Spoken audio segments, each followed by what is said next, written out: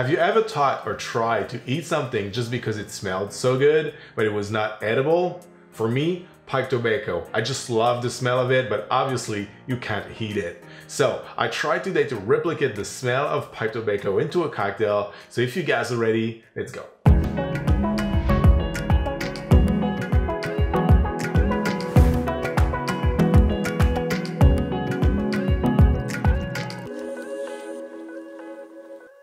What's up guys, welcome back to the channel. And thank you very much for joining me again for this new cocktail video. As I said, today I'm trying to replicate the smell of pipe tobacco into a cocktail. And to achieve that, what you're gonna need is to make yourself a house-made unsweetened spiced rum.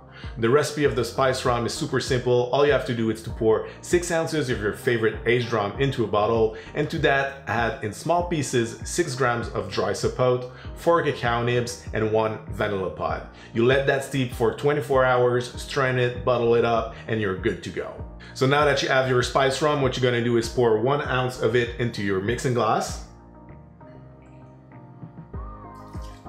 and then you're gonna add another ounce of your favorite bourbon.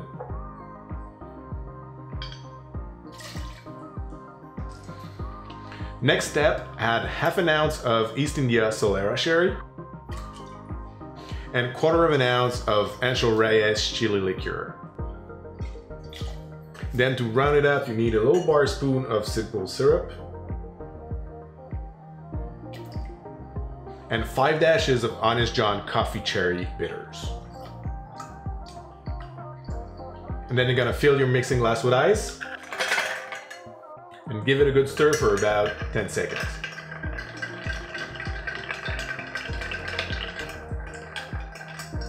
Now you're gonna strain it into your favorite cocktail coupe.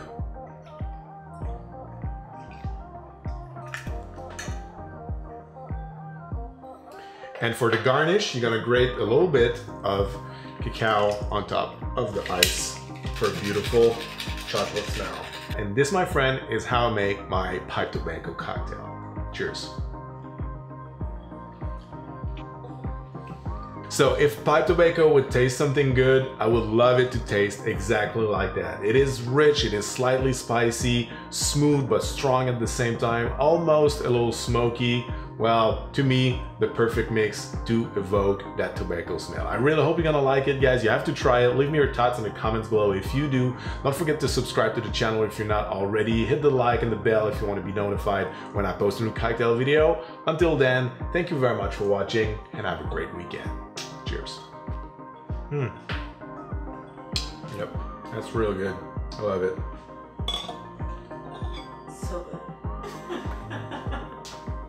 Does it taste like your uncle's mustache? Cheers.